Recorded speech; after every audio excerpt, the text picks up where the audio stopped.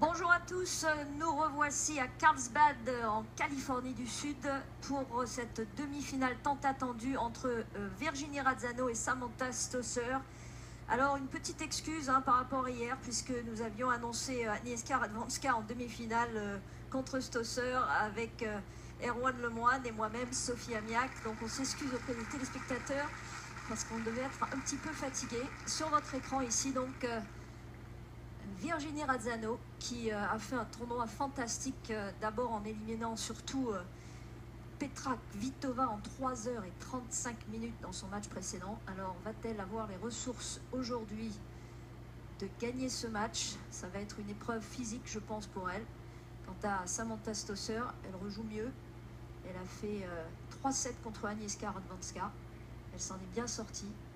Et ça va être une belle bataille, j'espère, ici